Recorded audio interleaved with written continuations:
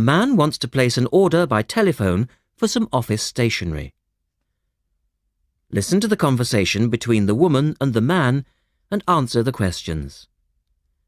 First, you have some time to look at questions 1 to 6.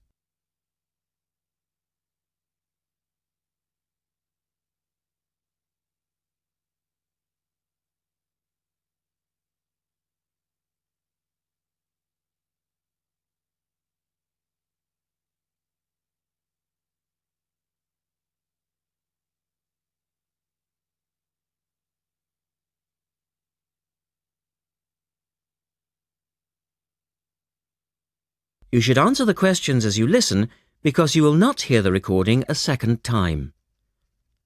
Listen carefully and answer questions 1 to 6.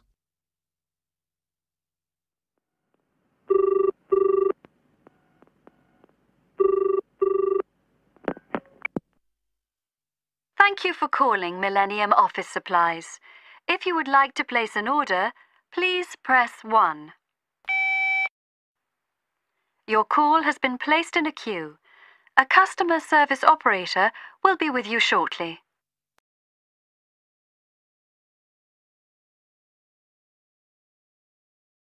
Gina speaking. How can I help you?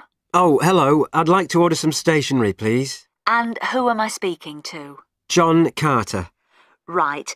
Can I just confirm your account number and the name of your company, John? Sure. The account number is 692411. 692411. Right. And you're from Rainbow Computers? Uh, no, the company is Rainbow Communications. Oh, OK. I'll just fix that on the system. Communications. And what would you like to order, John? Uh, envelopes. We need a box of A4, that is, normal size envelopes. White, yellow or manila? Um, we'll have the plain white, please. Uh, but the ones with the little windows. OK. One box, A4, white. Just the one box, was it? Um, on second thoughts, make that two boxes. We go through heaps of envelopes. Um, as a matter of interest, are they made from recycled paper? No, you can't get white recycled paper. The recycled ones are grey, and they're more expensive, actually. Right, we'll stick to white then. Something else, John? Yes, we need some coloured photocopy paper. What colours do you have? We've got purple, light blue, blue, light green, whatever you want, pretty much. There are 500 sheets to the pack. Right, let's see. Um, we're going to need a lot of blue paper for our new price lists. So can you give us 10 packs, please? Make sure it's the light blue, though. 10 packs of the light blue. The woman asks the man if he needs anything else. Look at questions 8 to 10.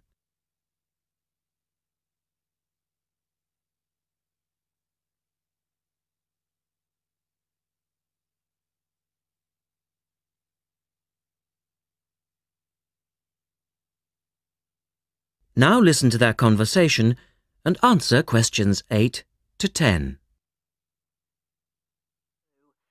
Anything else that we can help you with? Um, uh, let me think. What else do we need? Uh, oh, I'm sure there was something else. Pens, paper clips, fax paper, computer supplies, office furniture? Yeah, ah, oh yes, we need floppy disks. Do you have those nice coloured ones? Yes, but they're a bit more expensive than the black ones. Oh, that's all right. I'm not paying anyway. Right. Floppy disks. And what about diaries for next year? We've got them in stock already and it's a good idea to order early. um, no, I think we're all right for diaries. But something we do need is one of those big wall calendars. You know, one that shows the whole year at a glance. Do you stock those? We certainly do. OK, can you include a wall calendar then, uh, with the other stuff? Um, just make sure it's got the whole year on the one side. Sure. And do you have a copy of our new catalogue? No, I don't, but could you send one? Yes, I'll pop one in with the order.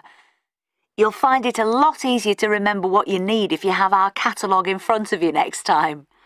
Yes, good idea. And um, when can you deliver this? Should be with you tomorrow morning. Can you make sure that it's not after 11.30am? Because I have to go out at 12. There's only myself here on Fridays. Fine. I'll make a note on the delivery docket that they should deliver before half past 11. Thanks very much. Thanks.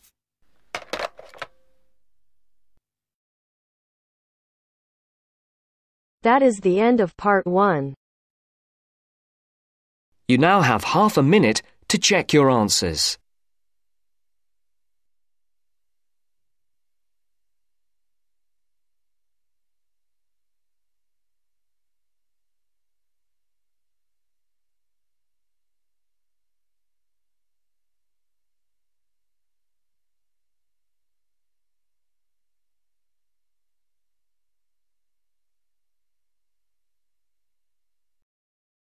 Now turns to part two.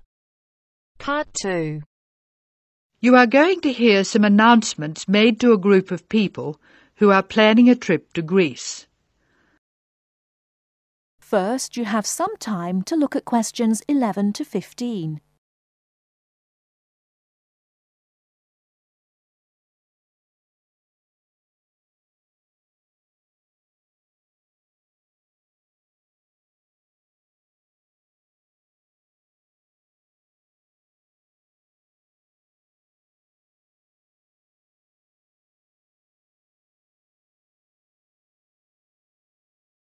Now, listen carefully and answer questions 11 to 15. Good morning, everyone. I'm getting very excited about this trip to Greece, and I'm sure you are too. As you know, we didn't have all the details at our last meeting, but I can give them to you now. We'll leave London Gatwick Airport on British Airways next Wednesday. Please be sure to be at the airport by 6:30. I know it's early, but our departure time is 8:25 a.m. We're quite a large group and we don't want to have any hassles. Please be sure to have all your travel documents ready. We'll arrive in Athens at 2:25 in the afternoon and there'll be a vehicle there to meet us. It'll be a full-sized coach so everyone can travel together. We'll spend 3 full days in our hotel in Athens although we're only being charged for two nights accommodation, which is good news. The second day we'll go to the National Archaeological Museum to see the enormous collection of ancient Greek works of art, antiques, statues, a brilliant display. We'll eat out at a typical Greek restaurant on Thursday night. It's going to be a very busy time in Athens. Friday morning and afternoon we'll visit historic sites but we have nothing planned for the rest of the day. On Saturday, we're off to the islands, the Greek islands of ancient myth and modern romance. Now the big news. At first, we thought we'd take the ferry, but we've been very lucky to secure a sailing boat, which is big enough for all of us. I'm really excited about this part of the trip because we'll see the islands to the best advantage and we'll be able to cruise around and sleep on board. We'll get off at different islands, and for one part of the trip, we'll have people playing Greek traditional music actually on board with us. Now I'll pass out a brochure with all the details. Before you hear the rest of the talk, you have some time to look at questions 16 to 20.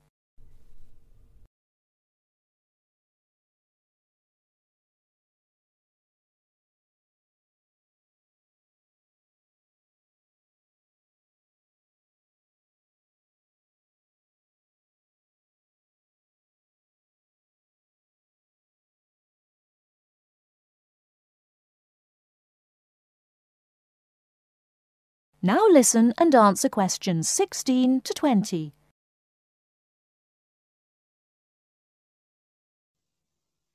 A lot of work has gone into organising this tour, and I'd like to thank in particular the travel agent who got us a really good deal and the people at the British Museum who offered us such good advice.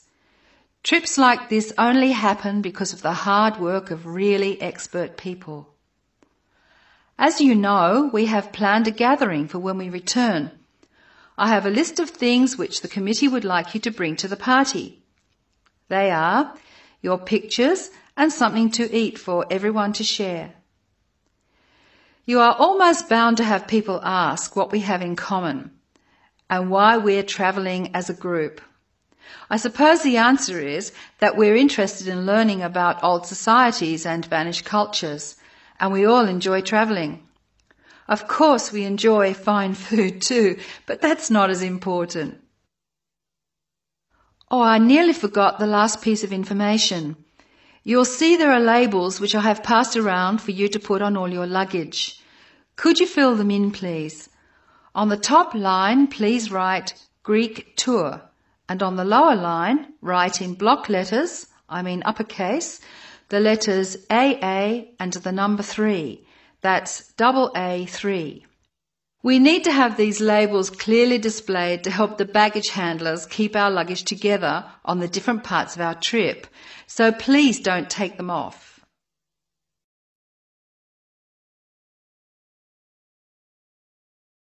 That is the end of part two. You now have half a minute to check your answers.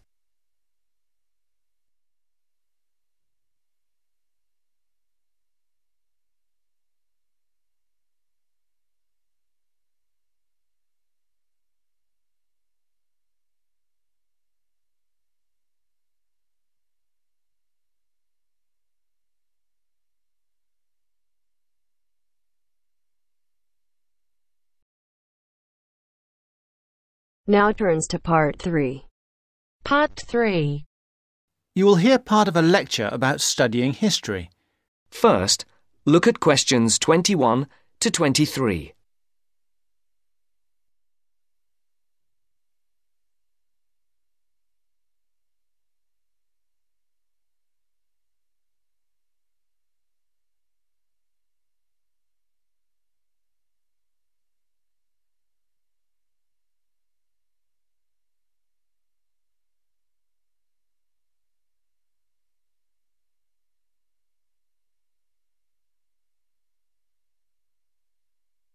As you listen, answer the questions. Good morning, everybody. I'd like to begin this term's lectures with a discussion of the various sub-disciplines in history. Before I do that, though, can I refer you to the handout you picked up on the way in? It deals with two general topics. The first is why study history, and the second is what is history? Neither of these questions has an easy answer. In fact, people have been asking these questions for as long as history has been studied.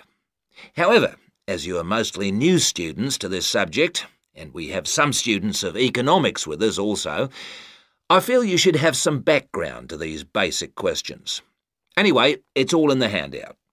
I might add that, for me personally, the most important reason for studying history is that I find it exciting.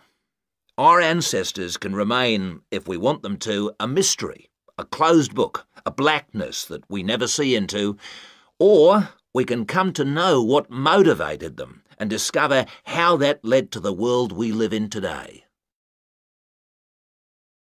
Before the conversation continues, look at questions 24 to 30.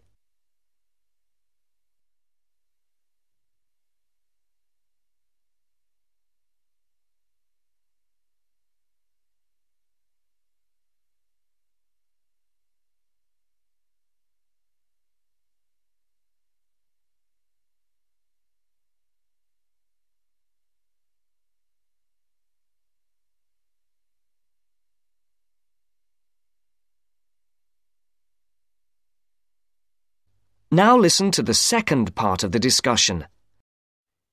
You who have chosen to pursue the study of history are very fortunate.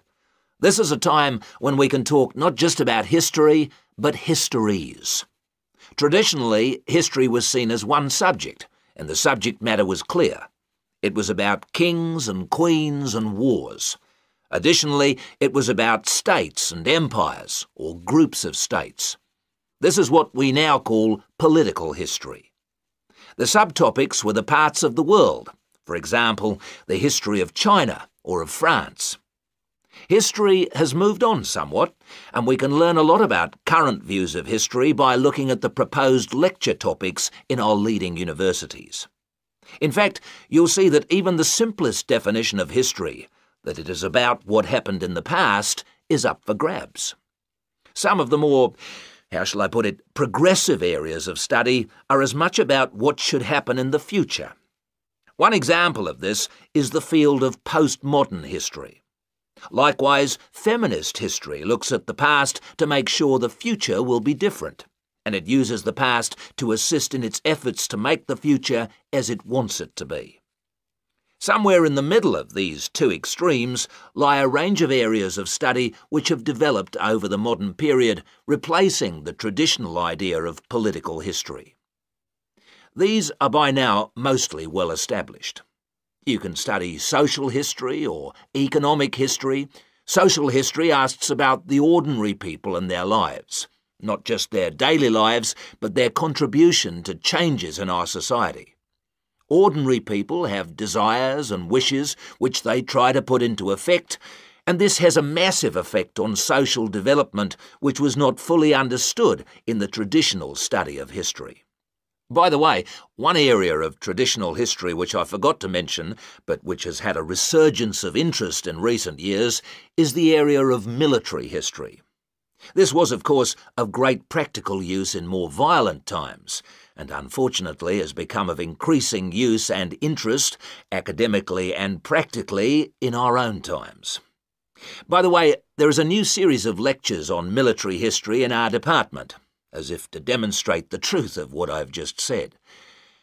Ethnic and multicultural history are further examples of kinds of history which, like social history, differ from the traditional forms. Ethnic history is a modern concern which concentrates on the value systems and beliefs of a people, usually a minority people, which were ignored in the rapid forward march of the rich and powerful nations and states. How various ethnic groups live together and how their traditions change and develop is the subject of its contemporary cousin, multicultural history. In sum, as I said, you are fortunate to have such a wide choice of things to study in the fields of history. Choose wisely. And finally, it only remains for me to wish you good luck in your studies. That is the end of part three. You now have half a minute to check your answers.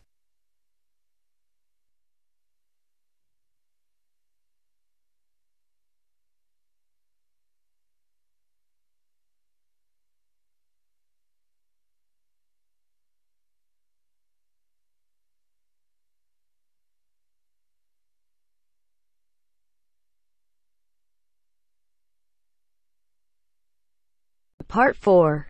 Part 4. Complete the notes below.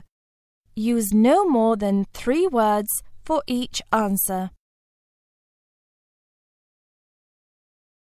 First, you have some time to look at questions 31 to 40.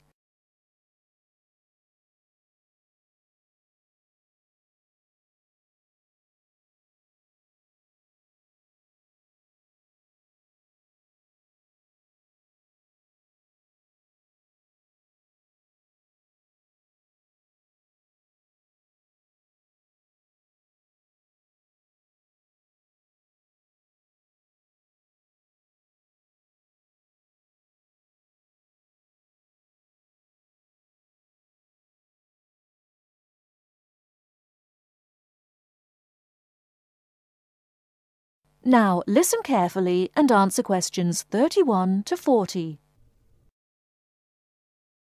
Good afternoon. I'm glad you all found your way here. Now I'd like Dr. Wallace to introduce us to the Arboretum. Good afternoon. Although at first glance the Arboretum may look like a park, it is a research and teaching facility that also provides a place for people to develop a positive relationship with nature. When then University of Wisconsin-Madison purchased the land, mostly during the 1930s. much of it bore little resemblance to its pre settlement state. Instead, it had been turned into cultivated fields and pastures that had fallen into disuse. The university's Arboretum committee decided, early on, to try to bring back the plants and animals that had lived on the land before its development. Though they may not have anticipated it at the time, the committee's foresight resulted in the Arboretum's ongoing status as a pioneer in the restoration and management of ecological communities. In focusing on the re-establishment of historic landscape, particularly those that predated large-scale human settlement, they introduced a whole new concept in ecology, ecological restoration. The process of returning an ecosystem or piece of landscape to a previous, usually more natural, condition. Madison was a fast-growing city in the 1920s. Fortunately, some leading citizens recognized the need to preserve open space for Madison's residents. Most of the Arboretum's current holdings came from purchases these civic leaders made during the Great Depression. In addition to inexpensive land, the Depression brought a ready supply of hands to work it. Between 1935 and 1941, crews from the Civilian Conservation Corps were stationed at the Arboretum and provided most of the labour needed to begin establishing ecological communities within the Arboretum. Efforts to restore or create historic ecological communities have continued over the years, with the result that the Arboretum's collection of restored ecosystems is not only the oldest, but also the most extensive such collection. In addition to these native plant and animal communities, the Arboretum, like most arboreta, has traditional collections of labelled plants arranged in garden-like displays. These horticultural collections featuring trees and shrubs of the world, are the state's largest woody plant collections. That is the end of part four. You now have half a minute to check your answers.